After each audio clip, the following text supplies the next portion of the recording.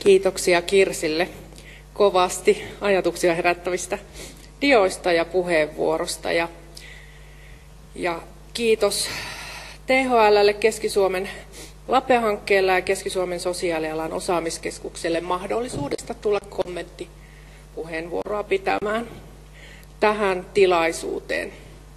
Tervetuloa siis munkin puolesta sekä täällä paikalla olijat että siellä, siellä etäyhteyden päässä olevat. Mä oon Lahtisempi ja mä työskentelen kehittämispäällikkönä tuolla Pesäpuu ryssä lastensuojelujärjestössä ja, ja oon koko siellä oloaikani ja jo ennen sitä paljon, paljon miettinyt näitä arvioinnin kysymyksiä ja osallistunut näiden arviointityöskentelyjen materiaalien, mallien ja, ja tavallaan ajatusten tuottamiseen siellä. Mutta ne on ollut minulle tärkeitä myös jo ennen kuin tulin sinne. Kovasti, kovasti olen miettinyt, miettinyt niitä omassa työssäni, kun on arviointityötä tehnyt.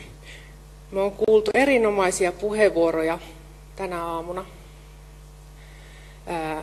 THLltä tästä valtakunnallisesta mallinnuksesta, asiakasnäkökulmista, arvokkaita, arvokkaita näkökulmia nyt vielä, vielä tämä koulutusprosessi, joka alkaa, niin kuulostaa todella hyvältä.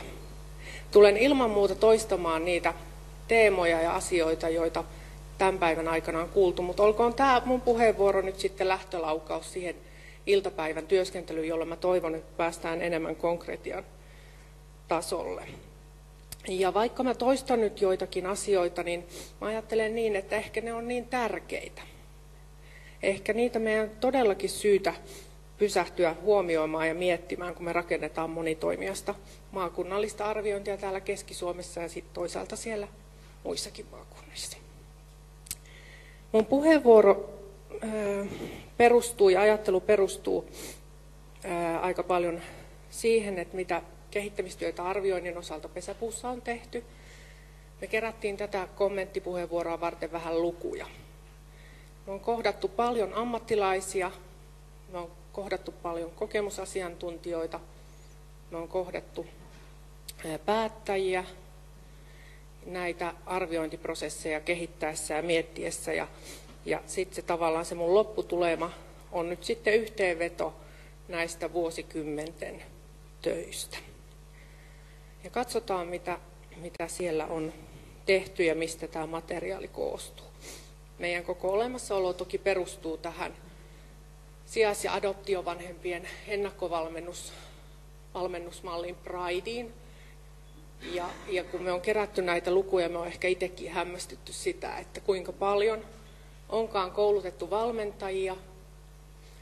He puolestaan ovat kouluttaneet edelleen 800 valmennusryhmää, yli 10 000 Pride-ennakkovalmennukseen osallistunutta sijaisvanhemmuutta tai adoptiovanhemmuutta pohtivaa. Nykyisen lastensuojelulain lain voimaan tullessa meillä oli STM kanssa yhdessä täällä Keski-Suomessa lastensuojelun alkuarviointihanke. Ja ne muutaman vuoden aikana kolmessa koulutuksessa koulutettiin 63 lastensuojelutarpeen selvityksen kouluttajaa jotka jo näiden muutaman vuoden aikana koulutti arviointiosaamiseen noin 900 lastensuojeluammattilaista. Ja kuten kuulette mun puheesta, niin mä tulen tietysti aika vahvasti sieltä lastensuojelun näkökulmasta. Öö, sen lisäksi meillä on sukulais- ja läheisijäsvanhempien valmennukseen osallistuneita. Ja nyt sitten viimeisimpänä öö, huostaanoton ja sijaishuollon tarpeen arvioinnin, arvioinnin mallinnusta tehty pilottikoulutuksissa ja siitä tuotettu opas, pysäkkiarviointimalli ja viime vuonna aloitettu sitten lapsilähtöinen palvelutarpeen arviointi, sen mallintaminen tämän valtakunnallisen mallinnusraportin pohjalta ja tänä syksynä perheen jälleen yhdistämiseen arviointia työskentelymallia mun perheet. Eli näistä nousee nyt ne meidän ideat. Ne on olleet kaikkina näinä vuosina, tai nojanneet näihin kolmeen tärkeäseen tukijalkaan tai teemaan. Se, miten me ajatellaan, mistä arviointi lähtee, se lähtee meidän ajattelussa lapsen tarpeista. Lapsen yksilöllistä ja kehitystasoisista tarpeista. sitä peilataan ja reflektoidaan vanhemmuuden valmiukseen, valmiuksiin, ei niinkään vanhempiin ihmisinä, vaan kykyyn ja haluun, ymmärrykseen, niihin valmiuksiin, joita vanhemmalla on vastata näihin lapsen yksilöllisiin tarpeisiin. Ja kolmas aivan keskeinen tukijalka, mitä tämä Päivin ja Pian puheenvuorokin korosti moneen kertaan, samoin nämä muut, on tämä yhteinen arviointi tai ainakin pyrkimys siihen yhteiseen arviointiprosessiin. Ja mä ihan lyhykäisesti avaan näitä. Lapsen tarpeet ja elämäntilanne merkitsee niin meidän arviointiajattelussa sitä, että olipa lapsi paikalla tai ei, hän tarpeineen on siinä arvioinnin keskiössä. Ja hänen koko se elämän tilanteensa, sen pohtiminen, mitä kaikki tässä perheessä merkitsee hänen kannaltaan, on se keskeinen lähtökohta. Ja sitten meidän talossa aika paljon tykätään vastata siihen kysymykseen, että no miten tämä on sitten mahdollista. Tähän on nostettu jotakin lapsilähtöisen työskentelyelementtejä. Puhutaan oikeudesta, mutta yhtä hyvin siinä voisi lukea tarpeista. Kauniisti puhuitte, puhuitte mun mielestä näistä vaihtuvista työntekijöistä. Jos mä ajatellaan lapsen kannalta, niin kyllä mä katson, että arviointityöskentelyssä hänellä tulisi olla oikeus siihen pysyvään työntekijään edes sen arviointiprosessin ajan. Se liittyy, tavallaan se lapsilähtöisyyden toteutuminen liittyy siihen, että lapsella on turvallista olla. Että hän voi olla toimia, niin, niin se turva luodaan siinä suhteessa työntekijään. Lapsella on myös oikeus hyvään ja arvostavaan kohtaamiseen, ei vain olla pistemäisesti tavattuna siellä arviointiprosessin joissakin vaiheissa, vaan osallinen ja toimia koko arviointiprosessin ajan. Hänellä on oikeus, olla osallistua, oikeus osallistua tai oikeus olla osallistumatta. Ja lisäksi hän on aktiivinen tiedon tuottaja, mutta tieto, joka hänelle annetaan, tulisi, tulisi antaa siinä muodossa, kun se hänelle on sopivaa ja hän sen ymmärtää. Vanhemmuuden kannalta ja näiden valmiuksien kannalta me nojataan paljon siihen Pride-ajatteluun ja siellä puhutaan näistä valmiuksista. Tässä nyt on neljä sellaista tärkeää. Onko vanhemmalla valmiutta suojella ja hoivata lasta, tukea hänen yksilöllistä kehitystä, turvata hänelle läheisiä ja tärkeitä ihmissuhteita, jotka voivat olla ja ovat usein eri kuin ne vanhemman. Ja vielä tehdä yhteistyötä lapsen asioissa. Tämä suluissa oleva koskettaa erityisesti näitä sijais- ja adoptiovanhemmuutta pohtivia ennakkovalmennuksessa olevia. Eli onko heillä valmiutta sitoutua lapsia ja toimia luotettavana aikuisena tarvittaessa niin kauan kuin lapsi on 18 ja vielä senkin jälkeen. Ja parhaitenhan tämä näkyy sillä tavoin konkreettisesti, että, että nämä valmiudet näkyy niin vanhemman puheessa. Ja meidän täytyy tutkia ja arvioida sitä, miten lapsi on vanhemman mielessä silloinkin, kun ei ole paikalla. Ja vielä kolmanneksi, miten lapsi näkyy vanhemman teoissa, toiminnassa. Teot on kuitenkin vakuuttavinta puhetta. Ja sitten se yhteinen arviointi, josta tässä on ollut puhetta. Tämän ajattelun valossa Keskeistä on se, että näihin kysymyksiin olisi pystytty vastaamaan. Lapsilähtöinen laadukas arvioinnin idea toteutuu, kun, kun näihin, näihin kysymyksiin jokainen osallinen toimija siinä arvioinnissa voi vastata. Ja ehkä tämän lapsen kohdalta mä ajattelen, että en tiedä, tullaanko me arvioinnissa kysyneeksi riittävästi, että miten lapsi kokee elämänsä, mitä hän tuntee, mitä ajattelee. Ja hyvä huomio oli täällä se, että se mitä vanhemmat kertoo, kertoo lapsesta tai lapsen turvallisuudesta ei vielä riitä, vaan se lapsen kokema on tärkeä. Vanhemmat eivät voi vastata siihen, mitä työntekijöiden tulee tietää. Työntekijöiden tulee pystyä eettisesti ja ammatillisesti ja kestävästi vastaamaan kysymykseen, saako lapsi riittävää suojelua, tarvitsemansa apua, tukea, hoitoa. Tarvitsevatko he lapsi, vanhemmat ja koko perhe ulkopuolista apua, jos niin mitä, ja ovatko he valmiita, halukkaita yhteistyöhön. Mutta työntekijät eivät myös toisaalta voi vastata näihin kahteen muuhun. Siksi yhteinen arviointi. Ja nyt mä tuun ihan siihen viimeiseen.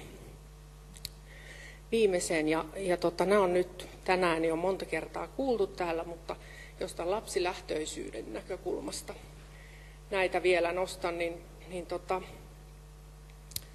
mä ajattelen, että tässä, sy- tässä kohtaa meidän on syytä pysähtyä kysymään, että mitä tämä kaikki merkitsee lapsen kannalta. Mitä se perheen kokonaistilanne merkitsee lapsen elämässä nyt, tässä hetkessä, mitä se on merkinnyt aiemmin ja mitä se merkitsee tulevaisuudessa. Tätä voi tarkastella oikeusnäkökulmasta, lapsen osallisuutena ja oikeutena, lastensuojelussa lapsen edu ja tarpeiden näkökulmasta, mutta tätä voisi tarkastella myös lapsen tunteiden ja kokemusten näkökulmasta.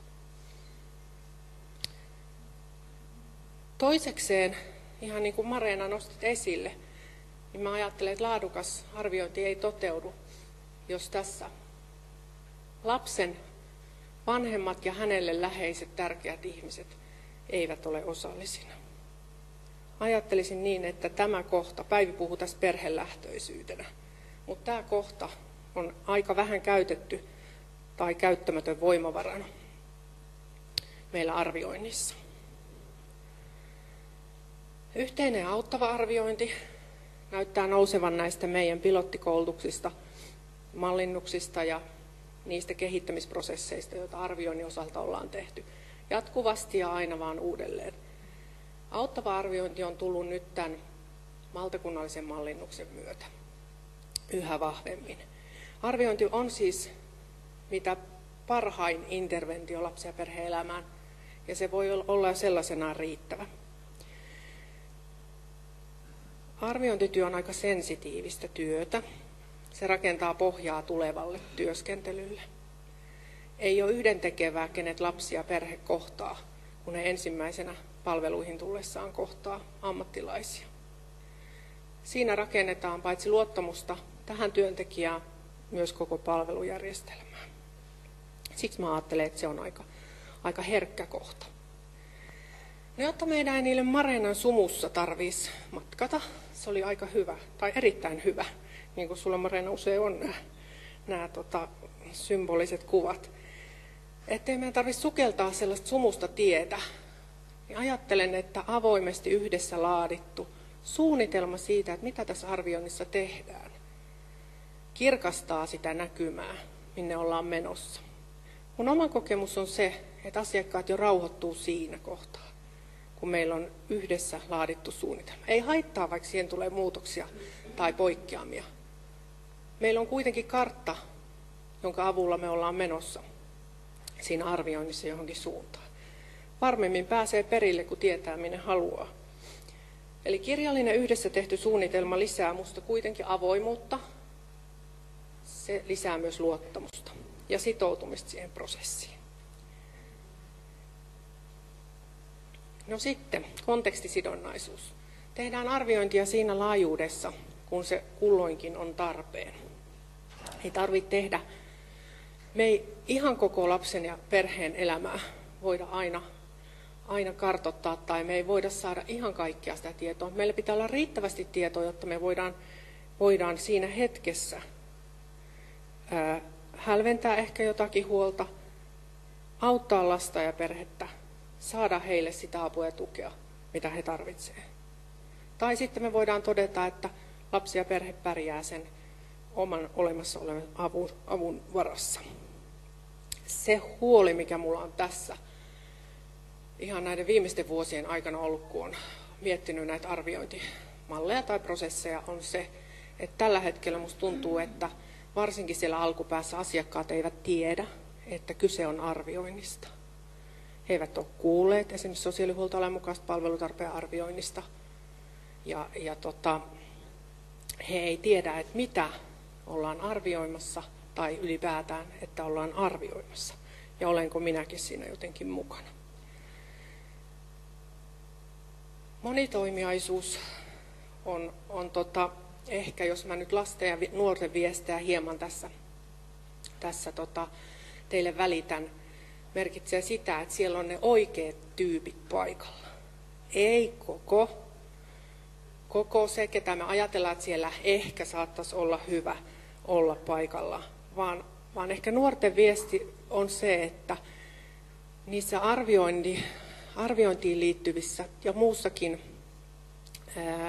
monitoimiaisissa palavereissa jokaisen pitäisi perustella, miksi hän on siellä tämän lapsen tai nuoren ja perheen asiassa. Ja neuvottelun päättyessä jokaisen pitäisi kertoa, mitä hyötyä oli siitä, että olin täällä mukana. Miten se auttoi sitä lasta, nuorta ja perhettä.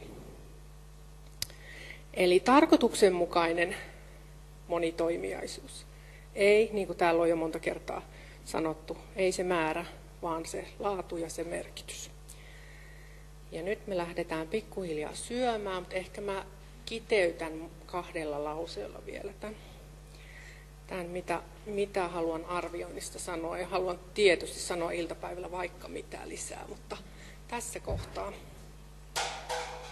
Laadukkaan arvioinnin päättyessä ajattelisin niin, että sekä lapsi, perhe että ne työntekijät osaavat kuvata, kertoa ja sanottaa sen, mitä apua tästä arvioinnista oli sille lapselle ja perheelle.